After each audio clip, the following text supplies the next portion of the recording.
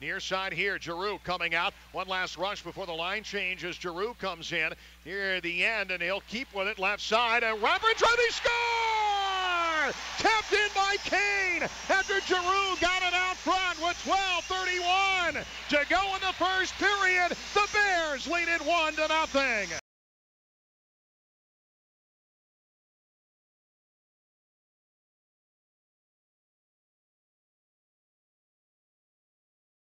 He will do it here with Lane MacDermid.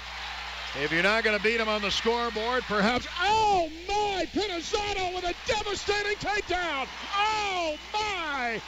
Right after right, and McDermott, see you later.